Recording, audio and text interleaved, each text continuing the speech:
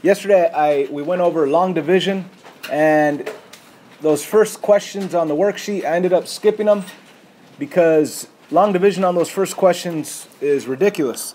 Now, in the book, which we should follow, um, there's an example and it explains how to do it nice and easy.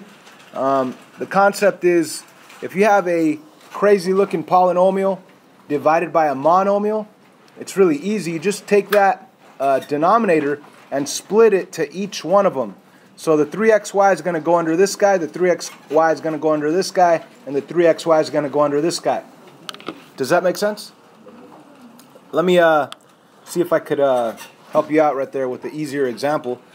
Like let's say you had um, 5 plus 15 divided by 5. Now because there's a mono or a single number down here, you are able to split this 5 to both terms and write it as 5 over 5 plus 15 over 5. I mean, why would we do that? We wouldn't. I mean, 5 plus 15 is 20, and 20 divided by 5 is 4, right? But you could take this 5 and put it underneath the 5 and put it underneath the 15 and get 5 over 5 plus 15 over 5. That becomes 1 plus 3, which is also the same answer 4. So when you have a denominator down there, it's only one term down there, you could split it to each of the terms that you're adding or subtracting up on top. So going back over here, on the example that they do, they simply take the 3x or 3xy and they place it underneath the first one, underneath the second one, underneath the third one. So that's what they did right here. They split it up. There's a 3xy, 3xy, 3xy underneath each term. Now the next part that they explain in the book, um, I don't like the way they do it. They take these x's and move them up and make them x to the negative 1. The y, move it up, make it y to the negative 1. See, x to the negative 1, y to the negative 1. I don't like that.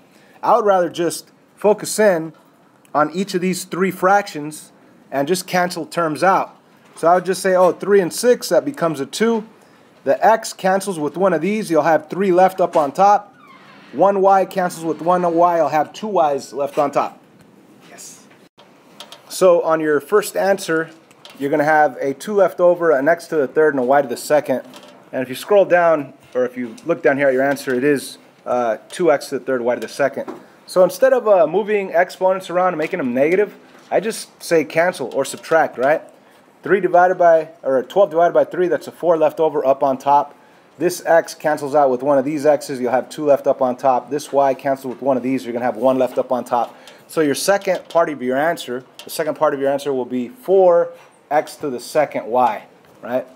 And that's what the second part of our answer is down here, 4x to the second y.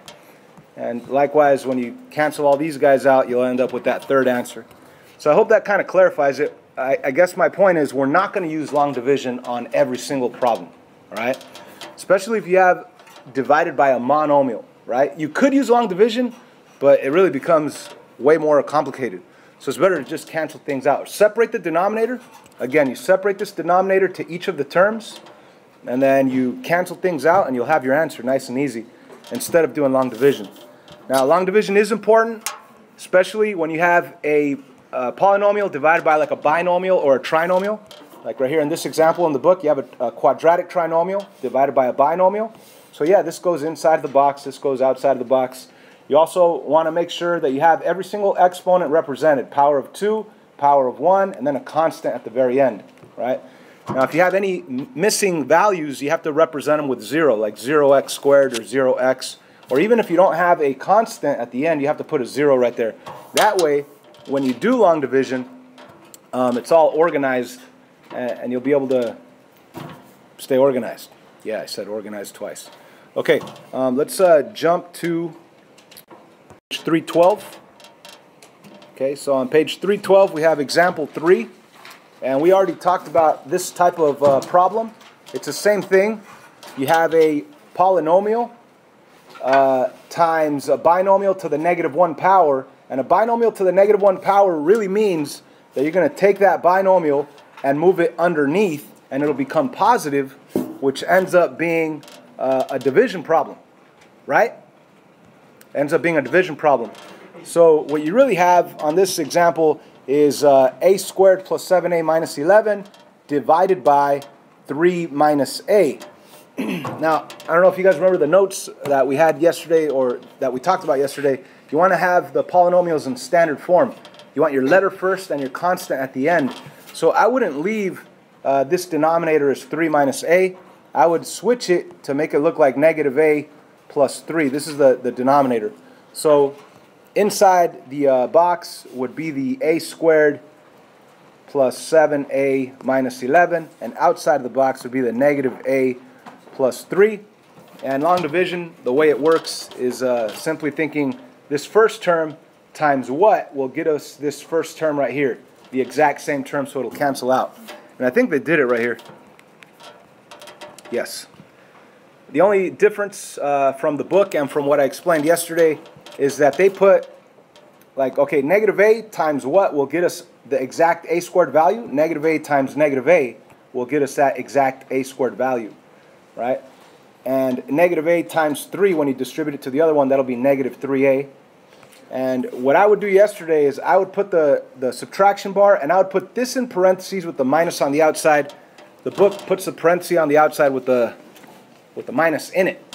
Same difference though, okay? Because you still need to distribute the minus sign to each term. So that becomes a negative a squared, which cancels. This becomes a positive 3a, which 7 plus 3a gives you the 10a that you see down here, and so on and so on. So are we cool with long division?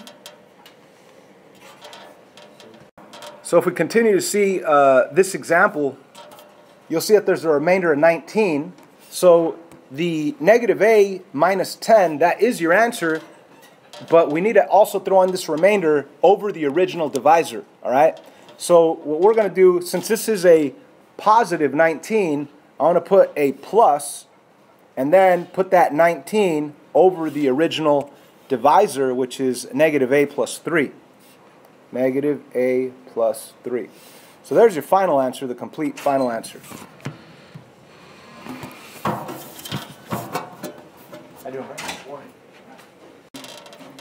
So jumping to page 315, this is going to be our actual homework.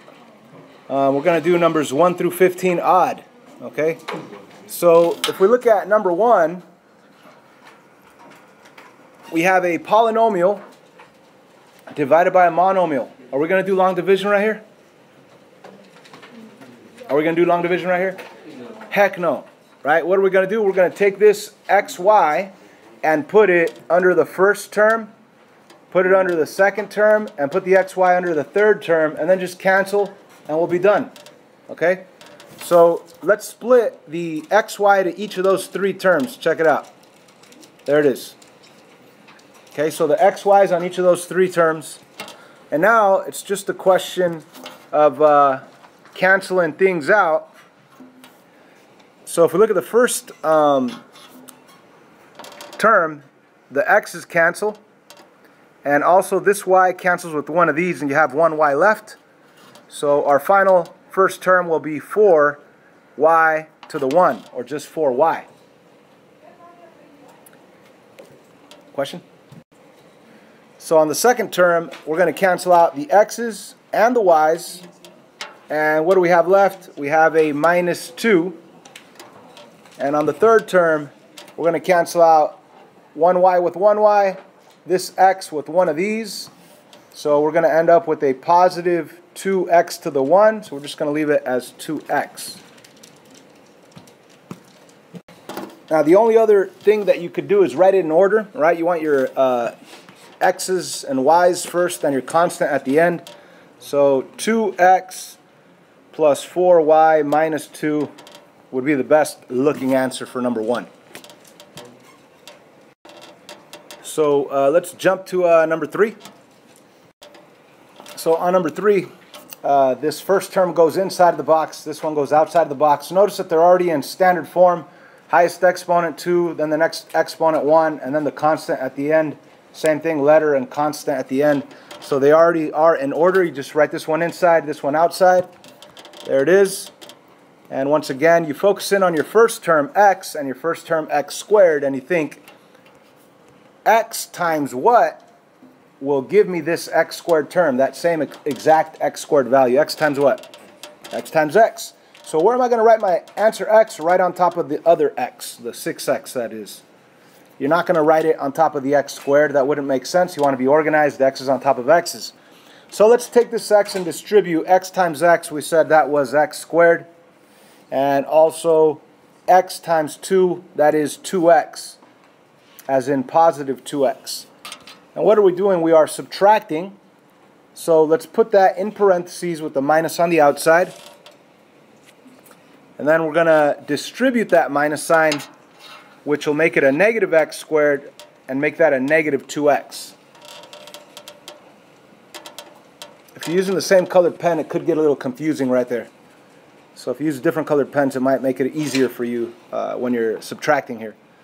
So anyways, uh, x squared, take away x squared, that cancels out. There's nothing there. Uh, negative 6x minus 2x, it's negative 8x.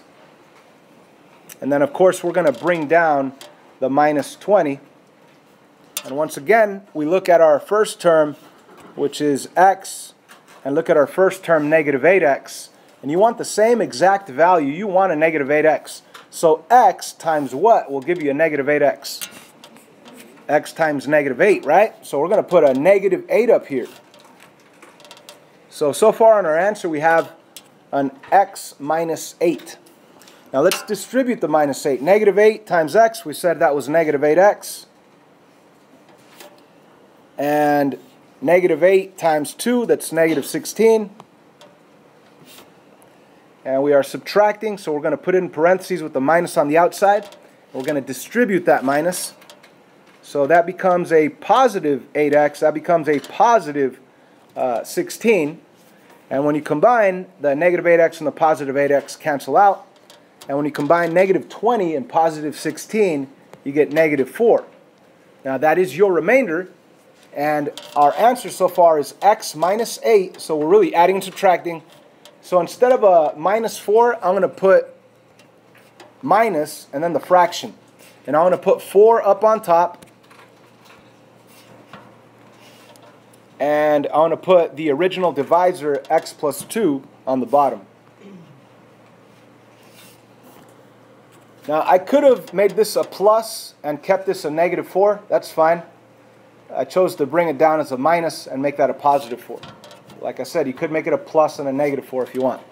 But this is your final answer for number 3, which is the second question on your homework. There's only about five left. I think you guys uh, could handle it from here. Right?